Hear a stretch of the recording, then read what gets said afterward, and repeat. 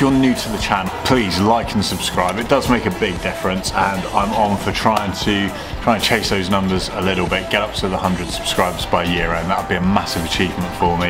Um, I did find out that uh, in terms of minutes viewed, the channel went over 10,000 last night, which is, that's a really cool milestone to hit before the end of the year, seeing as the channel only started in September. So um, yeah, if you're enjoying what you're seeing, you want to see this journey through with me, then please, um, please subscribe um, and hit the little bell if you want. That will tell you when new videos are out. Since I jacked my hand um, doing that 100 kilogram squat clean, it's been about seven weeks. Seven weeks since I've touched a barbell at all. Here in England, uh, we've had been in lockdown because of the pandemic uh, for the second time which meant that uh, all the gyms were closed and they only, only opened up like a week or two ago. I cut my cast off last week, joined in on a class on Monday called Redline, uh, which consisted of for five cycles, an AMRAP of two minutes of 15 burpees and as many uh, dumbbell thrusters as you could do, uh, and then rest two minutes between each cycle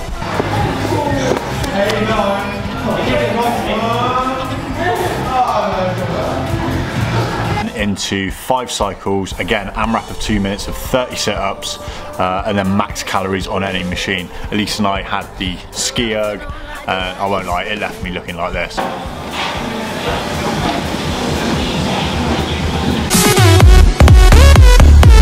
It was an absolute engine builder, it really was. Uh, sometimes you've got to go through those ones, especially, um, you know, during lockdown whilst I had the cast on, I wasn't really doing much. I mean, did the marathon, but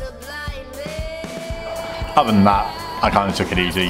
Um, so yeah, it left me on the floor that one. Last night, Wednesday, was the first time I actually took, put my hands on to a barbell and it felt amazing.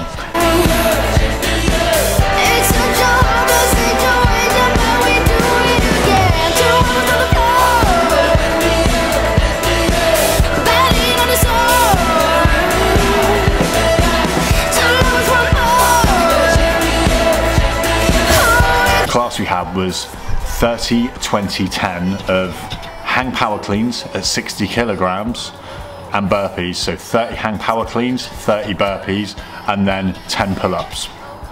Then 20 hang power cleans, 20 burpees, 10 pull-ups, and then 10, 10, 10. We had a 15 minute time cap. It took me 15 minutes, I'm not gonna lie, it was horrendous. It was, it was, yeah, it wasn't much fun at all.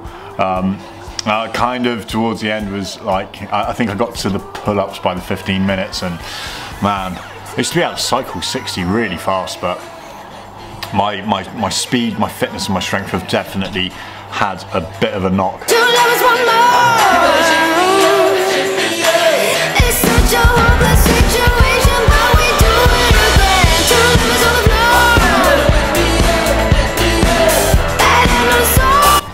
Me it kind of got in my head a little bit and I was a little bit disappointed in myself.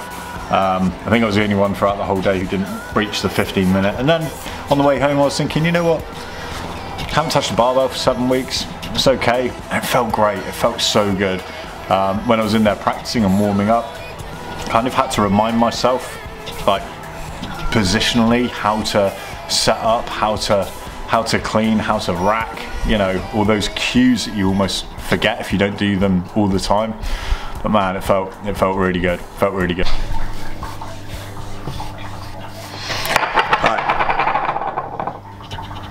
Aggressive. Let's have a look at what's going on in the world.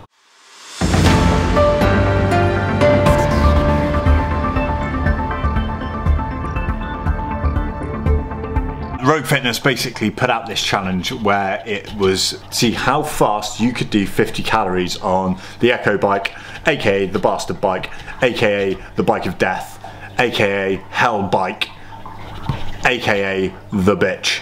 I've made up all of those AKAs. However, there was a video of some dude at Fitness Mayhem bashing out uh, 50 and 50 seconds. That's absolutely, I mean, that is insane. That is a fast, that's going some, man. However, the results came out today. Barry O'Neill in 18 seconds, just, just wait a second, 18 seconds. I don't even know how that's possible. where is the video of this? I hope they release it because, well, they should release it because that is that's insane. Uh, on the female side, Taylor Williamson got one minute and eight. Again, impressive scores, really impressive scores. In other news, of course, Tia Claire Toomey has decided that she's going to have a go at bobsleighing. Now, of course, we've seen James Newbury. Um, he's part of the Australian bobsleigh team, and I think Tia's thinking, seriously thinking of having a go, um, which is interesting because a couple of weeks ago, her and Mat uh, Fraser were, were kind of teasing to see whether or not they were going to go teams next year. Um, but it could be in the not so distant future that, that Tia is going to make a big move and, and go over to the bobsleigh team. That could be interesting. That'd be great to see CrossFit athletes in athletes in um in other kind of sports, you know, to see how they get on, see how those, and see how it transfers.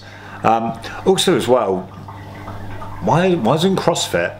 Uh, I suppose Olympic lifting. It'd be cool for CrossFit to ha- to be in the Olympics as a kind of, you know, to have two or three tests, a fitness one, a gymnastics one, a weightlifting one, the basics of CrossFit, but to put them together for the Olympics. I know you've got your Olympic lifting, I know you've got your gymnastics, I know you've got your fitness, I know they're separate um, in the Olympics, but almost bring it together kind of like a best for all as the Olympics. That would be cool.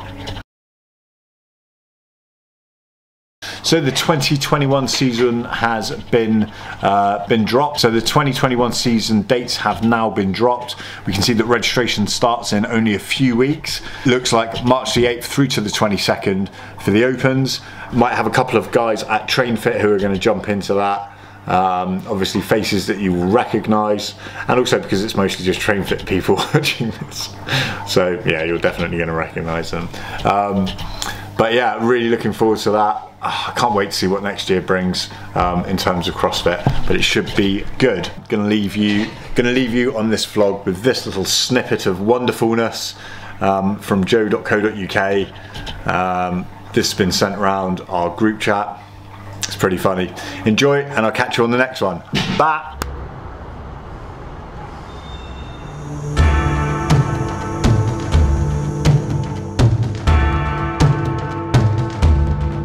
It's Christmas time with households mixing everywhere. And at Christmas time, infections spike and we don't care. And in our five day window, you can spread your viral load. So throw your arms around your man at Christmas time. Say a prayer. Pray for the northern ones. At Christmas time, it's hard when you've lost all of your income. There's a world outside Westminster, a world of bitterness and fear. where all the pubs are closing because they're stuck in fire tears. And the Big Ben bell that tolls here are the clanging chimes of doom. While tonight, thank God it's them instead of you. And there'll be essay to Africa this Christmas time. Because we've given all your cash to all our friends. Yeah. in the governmental perks. Like the app that didn't work. Do they know it's COVID time.